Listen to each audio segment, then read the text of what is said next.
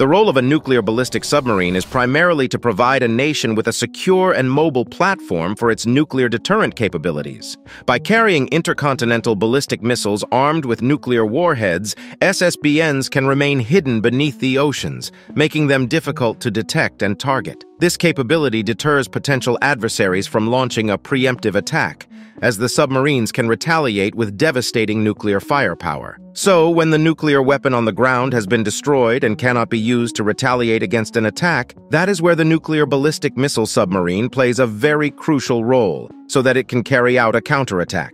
Thus, it is very necessary for these submarines to remain completely undetected so that all counterattacks are efficient. Moreover, nuclear ballistic submarines contribute to the principle of mutually assured destruction, serving as a vital component of a nation's overall defense strategy and bolstering its national security.